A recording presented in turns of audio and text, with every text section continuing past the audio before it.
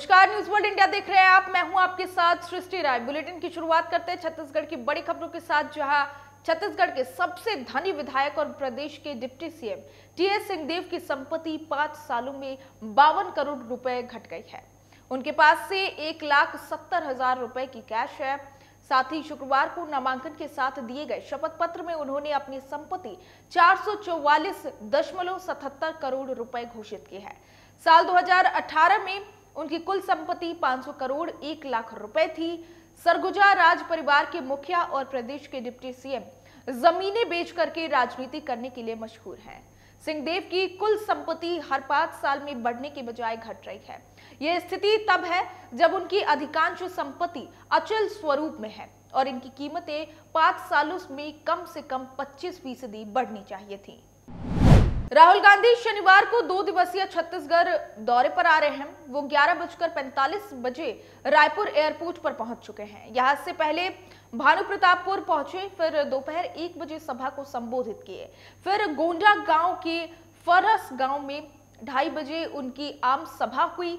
राहुल शाम करीब सात बजे रायपुर लौटेंगे। वही बताया जा रहा है कि 10 महीने में यह उनका चौथा छत्तीसगढ़ दौरा है। दूसरे दिन राहुल गांधी रविवार को 29 अक्टूबर को दोपहर एक बजे राजनांदगांव और दोपहर ढाई बजे कवर्धा में जनसभा को संबोधित करेंगे। यहाँ वो कांग्रेस के प्रत्याशियों के पक्ष में प्रचार करेंगे और जनसभाओं में नई चुनावी घोषणाएँ कर सकते हैं। वहीं मुख्यमंत्री भूपेश बघेल 30 अक्टूबर को दुर्ग ज़िले के पाटन विधानसभा क्षेत्र में अपना नामांकन पत्र दाखिल करेंगे। इस नामांकन रैली में कांग्रेस के राष्ट्रीय महासचिव प्रियंका गांधी भी शामिल होंगी। छत्तीसगढ़ में जैसे जैसे चुनाव की तारीख करीब आ रही है वैसे वैसे सियासी पारा भी हाई होता जा रहा है। चुनाव में मैदानी जंग के साथ वर्चुअल वॉर भी देखने को मिल रहा है। इसी कड़ी में प्रदेश के हाई प्रोफ़ाइल सीटों में एक अंबिकापुर विधानसभा सीट से बीजेपी प्रत्याशी राजेश अग्रवाल का एक वीडियो तेज़ी से वायरल हो रहा है।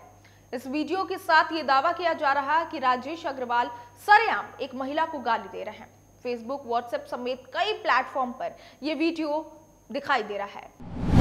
जनता कांग्रेस छत्तीसगढ़ ने विधानसभा चुनाव के लिए 27 उम्मीदवारों की पंचांग और पांचवी लिस्ट जारी कर दी है। पार्टी ने रायगढ़ सीट से मधु किन्नर को प्रत्याशी घोषित कर दिया है। मधु रायगढ़ की मेयर रह चुकी हैं। वहीं रायपुर पश्चिम से भगत हरबंस, पामगढ़ से गोरेलाल और बर्मन और बिल्हा से नेहा भारती को अपना प्रत्याशी बनाया गया है। छत्तीसगढ़ के खास बुलेटिन में फ़िलहाल के लिए बस इतना ही। ऐसी तमाम खबरों के लिए देखते रहिए न्यूज़ वन इंडिया